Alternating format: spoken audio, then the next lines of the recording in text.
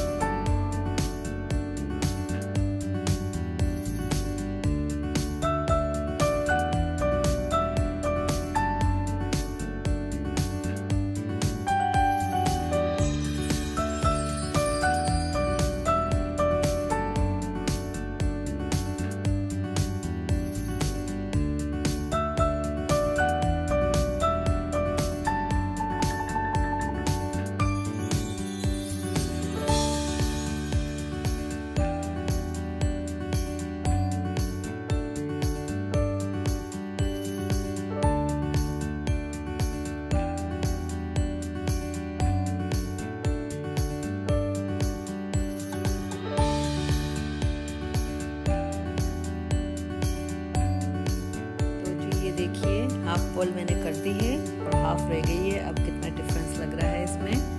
और ये ऊपर की हाफ़ की है, फिर बाकी